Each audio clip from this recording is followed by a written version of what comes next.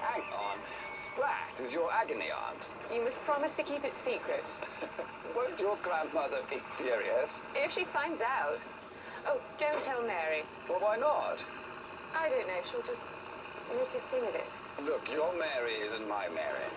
Let's hope it stays that way.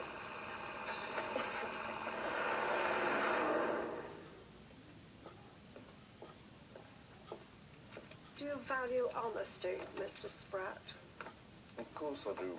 What a question. But you don't want to tell me why Lady Edith was here? I value honesty and discretion. They are both virtues. Hmm, because I wouldn't want to think you were keeping anything secret or wrong from my lady. Anything wrong involving Lady Edith Crawley, daughter of the Earl of Grantham. Are you mad? I am not mad. But I am curious. Curiosity killed the cat. Now I'm going for my constitutional. I'm walking down to the farm this afternoon if you want some company. I don't know if I'm going yet. Right you are.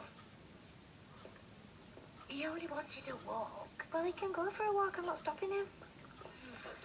Nanny wants to take the children out for a picnic in the park, so could she have sandwiches instead of a sit-down lunch, please? Very well. Can I give you a cup? Oh, I don't mind if I do. Oh, just in time. Could you pour in one too, please? What brings you in here? Yeah, I was uh, looking for Mr. Molesley.